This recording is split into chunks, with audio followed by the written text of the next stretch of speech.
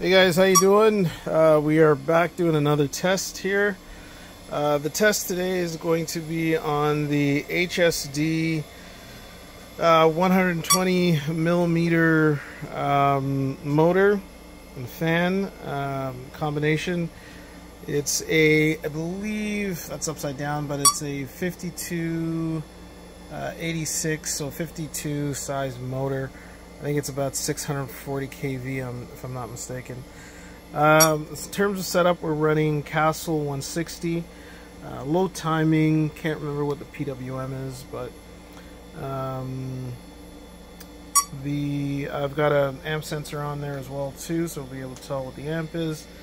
We're running two 5100C graphene packs, and I think we should get somewhere around 8 kilos or so of thrust. So let's give it a crank.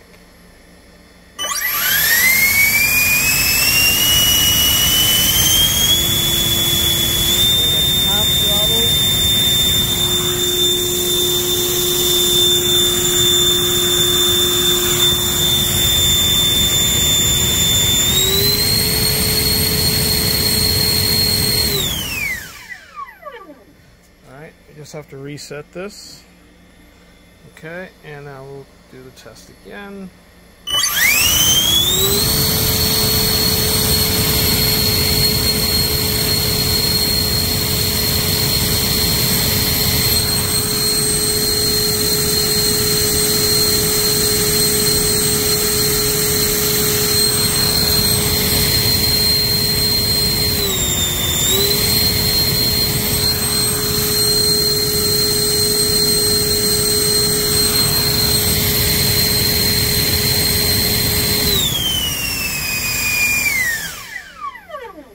Okay, so there you have it. I think uh, we maxed out at about 8.2 kilos of thrust, and it looks like it's settled somewhere around 7.8 kilos, give or take.